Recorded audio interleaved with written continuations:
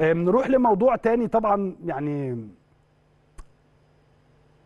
موضوع بالنسبة لي هو موضوع مهم. مش بالنسبة لي أعتقد لكل جمهور النادي الأهلي.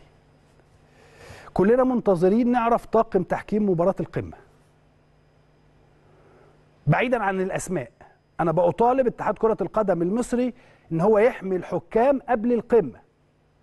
مش عايزين الضغوطات اللي بتحصل الفترة الأخيرة يكون لها تأثير سلبي على لجنة التحكيم وعلى طاقم التحكيم.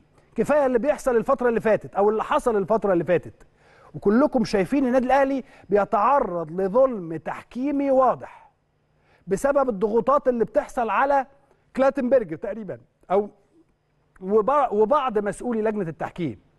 ولكن لا يوجد أي رد فعل من اتحاد كرة القدم المصري. حضراتكم عارفين طبعا كل شوية هقول هذا الكلام.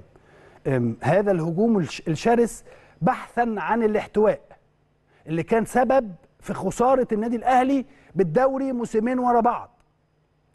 وفي حملات شغالة ليل ونهار علشان اللي كان بيحصل السنتين اللي فاتوا يحصل السنة دي. وإحنا هنا بأطالب الجميع إن القمة اللي جاية محتاجة عدالة تحكيمية.